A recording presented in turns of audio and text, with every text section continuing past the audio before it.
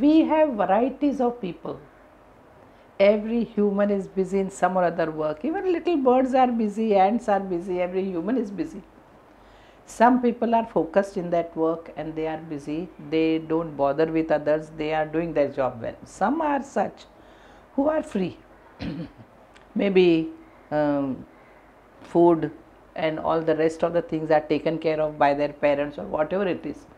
They are little free and they create enough amount of problems with others because they have no goal in life. they look at others, they want to find faults in others, they want to pick up things from others without even asking, they would take away things from others. They just live, exist, they don't even think. Thinking and doing action, that is the way we should live. Whatever action we do, I should know why am I doing, what is the purpose behind it, but people don't. so they end up irritating people. They, they are labeled as irritating personalities. There was a man who was a very saintly, nice person living in a small little room, but near his room there was another man who was a landlord of that area. He lived and he somehow didn't like this man because these people used to come to meet him. He was a wise person and he didn't like this man. He was getting irritated by him. So he built up toilets right in front of that man's door, front door. Two toilets over there for outsiders to use or for his servants to use. And he saw to it that toilets are never kept clean, dirty, smelly. So, whenever this man would get out of the house, that smell, and that was that can bother anybody and that was the scenario. So this man would put a napkin in on his handkerchief in his nose and he would walk out. He was a nice boy, so he never ever argued. He told that person that toilets are smelling and he said, Toilets are there, no, they are going to smell. What is it? What is so great about it? And that's how, so he managed it himself. You manage your emotions yourself. So he did like that. But then it happened, and every time this man would look at this fellow, that how he is getting disturbed. You want to disturb others, and that was this personality. And then it happened that uh, one day he got sick, and this man felt that why somebody to laugh at him is not there today. He went to meet him, and he was very sick, and he attended to him. He showed that he may be irritating him, but you don't get irritated. He says, Look, I am bothering you so much yet you are behaving so well with me. He says, You are doing your job, that's your nature.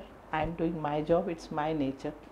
And uh, you are not really creating any problem. I have to just put a handkerchief on my nose and I am managing. What is wrong in that? That's the behavior. Understand, in life we will meet people who are going to irritate you and they will really bother you. They will talk any nonsense about you, anything about you they would behave anyway.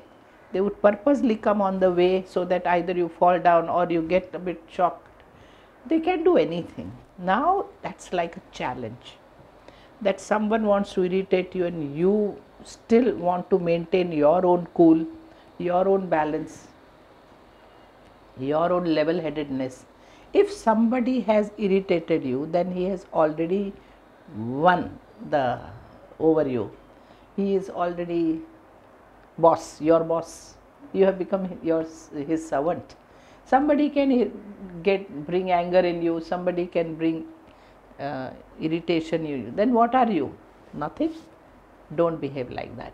You should be prepared that in world all such varieties are there, and you should be able to uh, manage with them. What they are, they are. It's their concern. What I am, I am.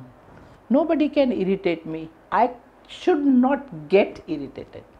And so that decision if we have taken in our mind, I am sure we'll be able to handle such people. And I very often feel that we could foresee the problem.